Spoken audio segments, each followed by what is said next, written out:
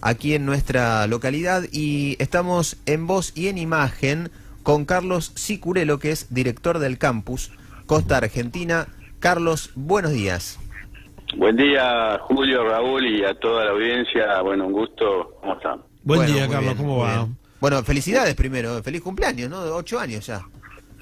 Así es. Bueno, gracias por, por estar acá y compartir con nosotros este, este momento toda la comunidad de UAD Costa Argentina estamos eh, muy contentos eh, por estos ocho años y por los logros alcanzados este, que fueron fruto del esfuerzo de toda la comunidad, de nuestros alumnos, docentes, graduados y todos los que hicieron posible eh, que esto exista. Bueno, recuerdo en el momento en que se colocó la piedra fundacional, estuvimos allí presentes y era como un sueño todavía desarrollar y nos preguntábamos y nos surgían dudas. ¿Cómo será esto? ¿De qué forma? ¿Qué respuesta habrá de la gente de Pinamar, de la región? Hasta que después, poco a poco, fuimos viendo su, su crecimiento. Em, bueno, ¿cuál es la, el balance que hacen ustedes desde la institución? Sí, así es. Desde, desde entonces eh, han pasado ocho años. Eh, nosotros eh, estamos inspirados en, el propósito de formar eh, profesionales, formar eh, líderes, formar ciudadanos y mm, estamos, entendemos, haciendo una función social muy importante. han pasado por nuestras aulas 1.200 profesores, docentes que han dado más de 100.000 horas de clases en estos, en estos ocho años y mm, eh, nuestros alumnos, nuestros graduados y nuestros docentes están dejando su, su sello eh, en toda la sociedad y en toda la comunidad. Eh, claro. razón por la cual estamos estamos muy contentos. Bueno, y en aquel momento era toda una aventura porque, bueno, había que salir de, de, lo que habitualmente era lo, tradicional de la UADE, esto de venirse al interior de la provincia, a un lugar de la costa, eh, con una población, digamos, estable, relativamente baja, lo que es un gran centro urbano, y fue toda una apuesta en su momento. Así es, este, nosotros aquí estamos con una universidad para pensada para los próximos 30 años. Eh, estamos acompañando el crecimiento de toda la costa argentina, de todas las, áreas de influencia, de, Pinamar en particular, y pensamos que eh, de la misma forma que nos han estado acompañando, eh, nos van a seguir acompañando. Cada año tenemos mayor cantidad de alumnos, este año que estamos por iniciar, estamos lanzando nuevos programas, programas de posgrado, de capacitación ejecutiva, eh, programas de formación universitaria. Aproximadamente vamos a estar lanzando 40 nuevos programas, entre ellos un, curso de posgrado en liderazgo y habilidades directivas, eh, Estamos eh, diseñando un curso de posgrado en gastronomía, hotelería y turismo y este, muchos más programas de, interés eh, para toda la comunidad. Razón por la cual tenemos en, en vistas este, seguir, seguir eh, dando servicios de calidad y educación este, para muchos más. Claro, bueno, vemos cómo se va ampliando. Mientras estamos charlando, estamos recorriendo con imágenes las instalaciones de, de la UADE, eh, hemos pasado por varios lugares. ¿Ahora dónde están exactamente? En este momento estamos, estamos recorriendo la planta baja, la zona de aulas, la zona de laboratorios, eh, la zona de hemiciclos donde se dan programas, programas ejecutivos y de posgrados.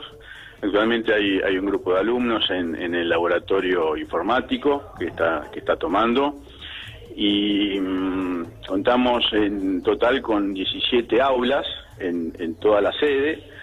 Tenemos un hotel escuela eh, donde se entrenan y capacitan nuestros alumnos con 23 habitaciones, que es único en Latinoamérica, y este, un sector de gastronomía en donde nuestros alumnos estudian las carreras de eh, gastronomía y eh, cocinero profesional. Son instalaciones modelo y verdaderamente un privilegio porque son únicas en su tipo en, toda Latinoamérica. Claro, bueno, quizás esté de más decirlo y ya, ya te dejo, Raúl. pero está todo perfectamente equipado, es lo que observamos y lo que vemos a cotidiano. está todo lo que hace falta para este, eh, sacar el, máximo provecho y beneficio del esfuerzo, del estudio y la preparación de, profesionales. Eh, Carlos, buenos días. Eh, bienvenido a Pinamar. Creo que tu presencia es bastante reciente a cargo de la, mm, del, puesto que está desarrollando en Guade Pinamar, ¿no? Así es. Estoy, estoy desde hace un poquito más de un mes eh, yo me desempeñaba en WADE, en, era el director de, de WADE Business School, de la Escuela de Dirección de Empresas. Y bueno, estoy muy contento de estar aquí, feliz. Eh, me han recibido muy bien, conociendo a muchas, a muchas personas. Y bueno, mm, yo ya digo, y con, permiso de, todos, que ya soy pinamarense. ¿eh? Bien, y bueno, este disfrutando de, mi trabajo y por supuesto de, todo el, entorno y, contexto que, tengo aquí. Bueno, eh, realmente em, no es no es un gran sacrificio vivir en Pinamar, porque Pinamar es muy amigable, es un lugar muy lindo, la región es muy linda y tiene esta ahora posibilidad de que em, este gigante que era Guade se arrima a Pinamar, si bien ya hace ocho años, pero se va consolidando día a día, por supuesto. Eh, ¿Cómo ve eh, Guade? Porque una cosa es cómo, ven, cómo lo vemos nosotros a, ustedes desde afuera, ¿no? Pero ¿cómo ve Guade a la comunidad, a la región? ¿Qué potencial tiene? Eh, ¿Cómo llegan los alumnos? ¿En qué condición de preparación? ¿Hay que ajustar el calibre de de, la, eh, de la capacitación con la que llegan los chicos a la facultad o, cómo estamos? Bueno, nosotros eh, estamos siendo percibidos como una universidad abierta, como una universidad amigable y como una universidad eh, para todos, ¿no? Al principio estas instalaciones pueden parecer un poco intimidantes, pero las personas a medida que, se acercan, digo, digo personas que tienen ganas de estudiar aquí, o incluso padres o familiares y amigos, se van dando cuenta de que esta es una, una institución con las puertas abiertas para todos. Esto como, como primer aspecto. Em, después, con relación a, a la formación de los alumnos que ingresan a la universidad, nosotros lo que estamos haciendo es insertándonos en, el, en, el, en la escuela media y a partir de, de, estar atentos a, las necesidades, intereses y preocupaciones de estas escuelas, vamos entendiendo el fenómeno eh, estudiantil de los alumnos de secundario y eh, vamos eh, dando apoyo para que puedan salir alumnos bien preparados y que puedan enfrentar eh, con éxito el, esfuerzo y el, trabajo universitario.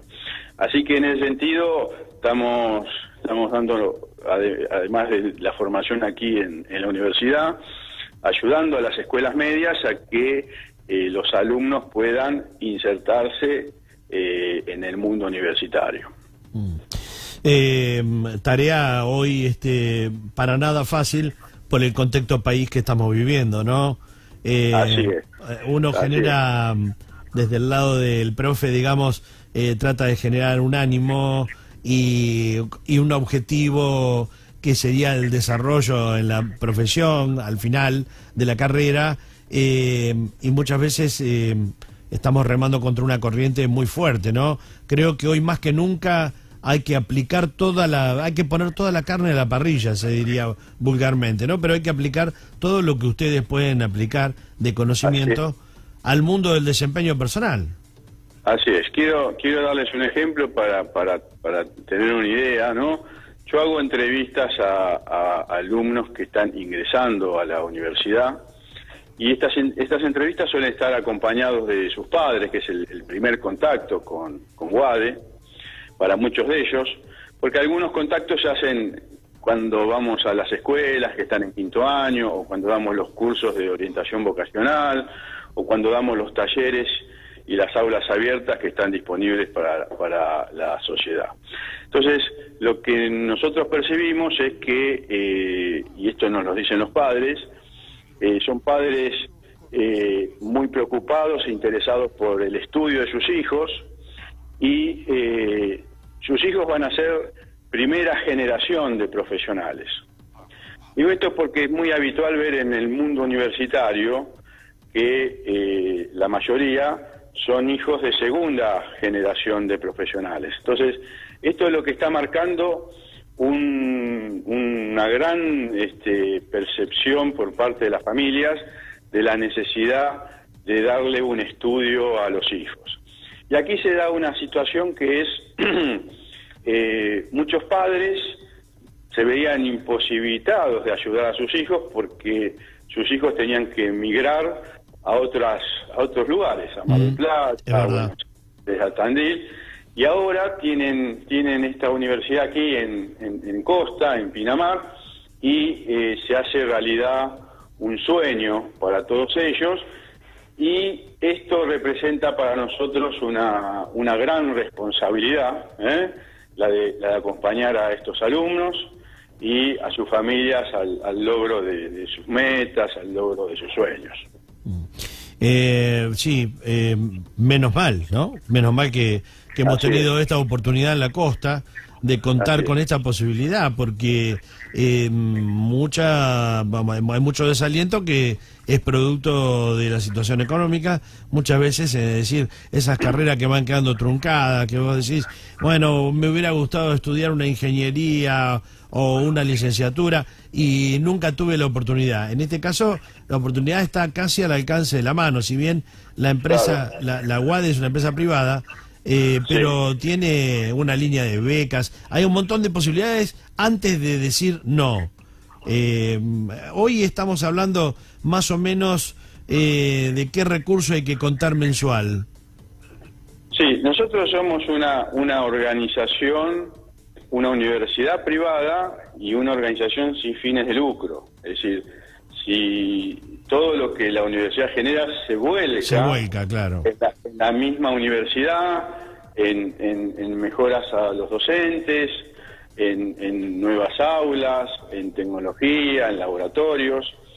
Y este, para estudiar en nuestra universidad hay que pensar en, un desembolso que puede ir desde los 2.000 a los eh, 4.000 cinco mil pesos por mes. Es, es un valor verdaderamente eh, bastante accesible si uno tiene en consideración lo que vale lo que significa invertir eh, en educación en la escuela media, ¿no? Totalmente.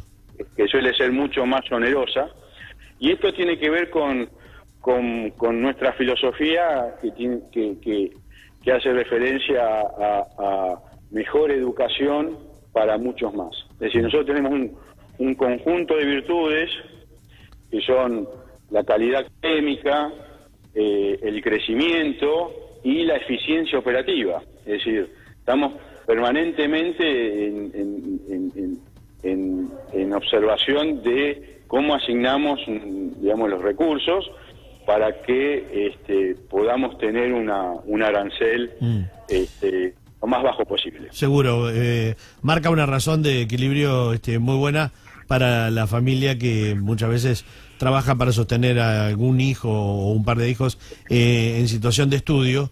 Y bueno, eso hay que aportar, por supuesto, pero eh, teniendo esta posibilidad de que no hay que viajar, no hay que hacer alquileres que son onerosísimos, este, y todo el riesgo que significa sostener otra casa, ¿no?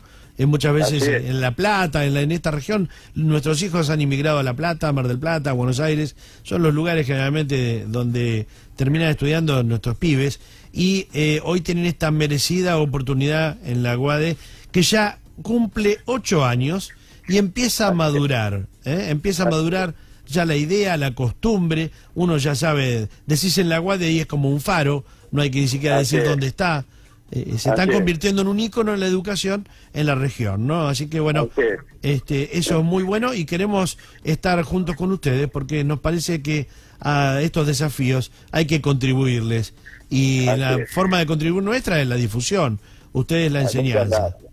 Muchas gracias. Sí, eh, es- este es un, ya es un proyecto que es- ya es de, de la costa, es de Pinamar, y a nosotros nos gusta decir, y, me gusta decir, de que somos un, polo educativo de optimismo e inspiración al futuro, ¿m? porque básicamente eh, a eso nos dedicamos, a, darles un futuro a, nuestros hijos, a nuestras familias y a, y toda la sociedad. Carlos, eh, nuevamente bienvenido y, y que tenga este, una buena residencia en Pinamar, eh, que es un lugar apto para pasarla bien. Realmente, sabiendo disfrutarlo, eh, uno le encuentra todos los días el lado lindo. Y lo mismo le debe pasar a esos estudiantes que van, eh, se nutren de- del- del estudio y luego pueden disfrutar de la paz que genera vivir en un lugar como Pinamar y eh, la, la cosecha de amigos, todo lo que muchas veces una gran ciudad este, no admite, ¿no? Así Así que bueno, son, son bienvenidos por supuesto en la comunidad. ¿eh? Muy amable por, por la hospitalidad y bueno, a- aprovecho este medio para agradecer a todos el recibimiento y bueno, lo bien que me hacen sentir. Muchas gracias. Carlos Icurielo, ahí estuvimos con el eh, director hablándonos un poco de cómo Muy es bien. hoy eh, la vida interna de esta universidad que está instalada ya, lleva ocho años. Sí. Eh, recordábamos, Julio, eh, creo que hemos estado en el momento de inicio de todo esto, ¿no? Cuando la piedra era... fundacional. Sí, exacto. Se colocaron, es más, mirá qué detalle, se colocaron diarios de la fecha en aquel momento, viste que se entierran Sí, para ser abiertos dentro de 100 años. O sea que dentro de 100 años se van a enterar qué, medio, qué noticias estaban hablando en ese, en ese momento. Bueno, espero que sean distintas. Viste lo que pasa siempre, muchas 100 veces uno no mete una mano en la bolsa, rebusca y saca, este, y el Claro. grueso de las noticias siguen teniendo alguna similitud, ¿no? Así que fue un punto ahí eh, importantísimo. También recuerdo que hubo un excelente agape. Sí, me acuerdo. Sí, sí. Eh, no sé si Hugo Silvestrone, me parece. Sí, señor, me Exacto, bueno. Hugo. Eh, como un ejemplo de la gastronomía en Pinamar, ¿eh? Claro, no, muy bien, muy bien. Nos- atendieron espectacular. Bueno, Bueno, listo, Oscar, gracias vamos- por, uh, sí. por esta posibilidad de visitar este, instalaciones de Aguada, la recorrimos todas. Sí, señor, prácticamente con el director, ¿eh? Muy bien, pausa, ya venimos.